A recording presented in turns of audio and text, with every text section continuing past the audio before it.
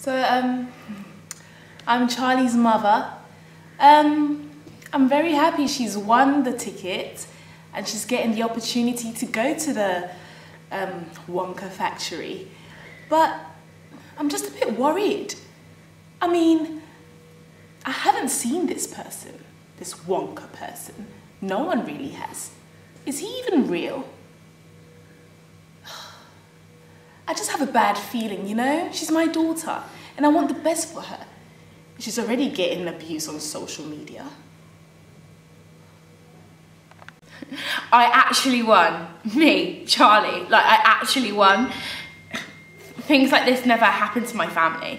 And I'm going to the factory. I'm going to meet Wonka. Sorry. Die, die, die. I, I'm getting abuse on social media and, you know, keep getting messages. But I'm going to the factory and I'm going to do this for my family.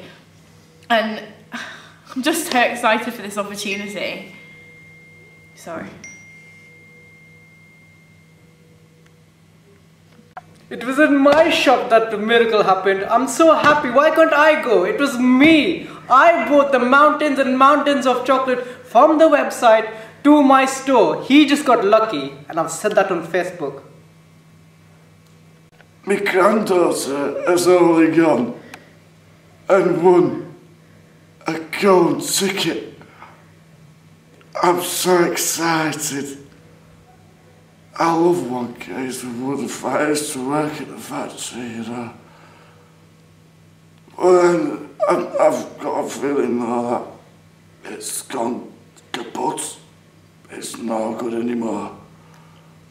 But with, Charlie, whoever she is, my granddaughter, she's a wonderful woman lady. I hope she chooses me, you know. You, you, you know uh, uh, uh, oh, sorry, I've got wandering hands. So hopefully, you know, it will be nice for her.